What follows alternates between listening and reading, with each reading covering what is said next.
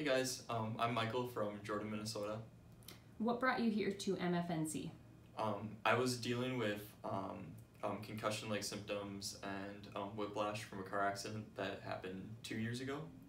And um, I came in here for an intensive week um, after going through the healthcare system um, and having like tons of symptoms from like headaches, um, nausea, um, vomiting, blurred vision, and I came in here for an intensive week. I was pretty skeptical um, at first, but um, I spent the week with Dr. Cassie and we went through um, all of the great equipment we have at um, Minnesota Functional Neurology, and it really helped me get back to um, function again. So.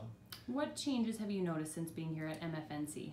Um, just so much better. Um, I remember before I came here, um, just like even trying to get through like a normal school day, like it would be almost impossible. I had to keep like dipping out of classes. I'd get you know nausea. I was an athlete before, like I couldn't even like go to practices a lot of the time, like running and.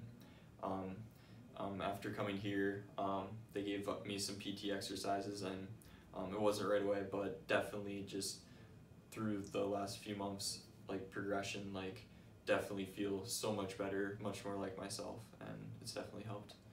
Wonderful. Thank you for sharing your story. Yeah, no problem.